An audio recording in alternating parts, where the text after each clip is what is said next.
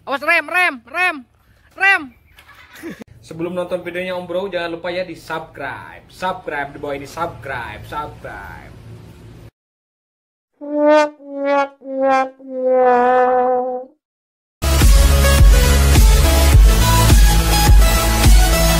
Assalamualaikum warahmatullahi wabarakatuh. Halo Om Bro, ketemu lagi Om Bro. Dalam episode kali ini saya akan berbagi tips ya, tips trik cara belajar sepeda dengan cepat gitu Om Bro ya. Jadi kebetulan nih anak saya dari nol belum bisa naik sepeda sama sekali Om Bro. Jadi saya dalam kesempatan kali ini akan membagikan triknya ya supaya eh, anak cepat bisa naik sepeda gitu Om Bro. Ini bukan buat anak aja ya, buat orang dewasa juga bisa gitu Om Bro. Jadi tipsnya tuh seperti ini Om Bro. Oke yuk jalani ikuti perjalanan saya. Oke, yuk check it out. Jadi Om Bro, anak saya ini lagi belajar sepeda dari kemarin nih, baru dua hari. Jadi trik dalam belajar awal belajar main sepeda tuh ya, kalau bisa ini berdasarkan pengalaman saya ya. Kalau bisa tuh cari dulu jalan yang menurun gini om bro ya. Baru ke sananya lurus. Ini maksudnya kalau di awal kan dia nggak konsennya tuh nggak ke pedaling juga ya nggak dibose dulu. Yang utamanya tuh harus e, menyeimbangkan badan dulu gitu om bro. Jadi kan kalau ada masalahnya maksudnya kalau ada e, turunan gini dia belajar buat e, menyeimbangkan badannya dulu gitu om bro.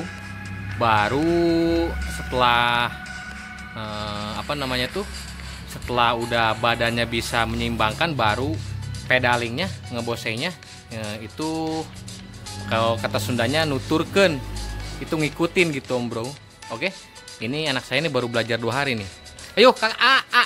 Baru belajar dua hari nih. Yuk nah dia sekarang udah bisa. Awalnya gitu om bro menyeimbangkan badan dulu. Baru pedalingnya menyusul gitu om bro. Oke bisa dimengerti Om Bro ya? Jadi Om Bro, untungnya tuh saya ada kemarin ya nggak sengaja uh, merekam video anak saya itu yang sama sekali belum bisa Om Bro. Terus sama saya disuruh ngikutin tips saya ini. Ini videonya Om Bro. Oke? Ayo lagi.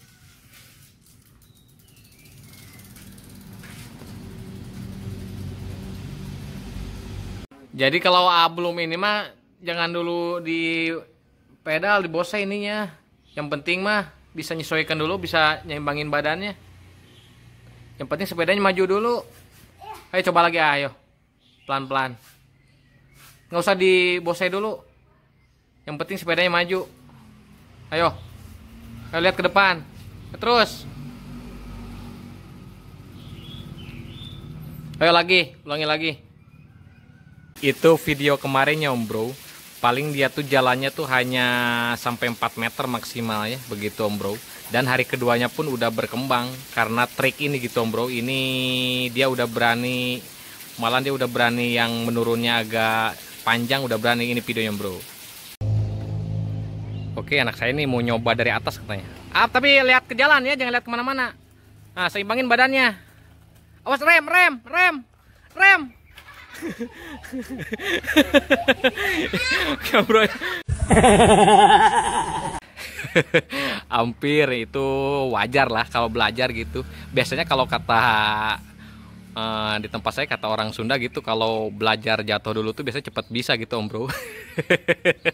Ini nggak tahu apa namanya tuh nggak tahu ah ya dari dulu lah gitulah gitu om bro. Oh dia sekarang udah mulai ini. Ini awalnya bukan rekayasa om bro ya. Jadi awalnya dia sama sekali belum bisa om bro. Jadi baru kemarin. Jadi triknya gitu om bro.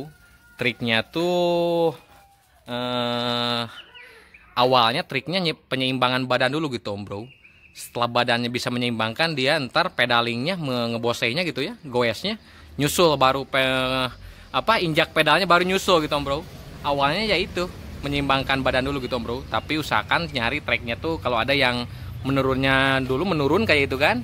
Sedikit menurun jalannya lurus. Dia buat kalau menurun buat ada e, dorongan sepedanya eh, maju jadi dianya bisa buat eh, menyeimbangkan gitu. Kalau ini buat awal-awal sih terlalu menurun. Tapi tadi anak saya nyoba om bro. Jadi begitu mau menyusruk mungkin itu aja om bro ya. Tips sederhana tapi jitu om bro. Mudah-mudahan bermanfaat ya om bro. Jangan lupa di like and subscribe nya om bro oke? See you. Assalamualaikum warahmatullahi wabarakatuh. Ya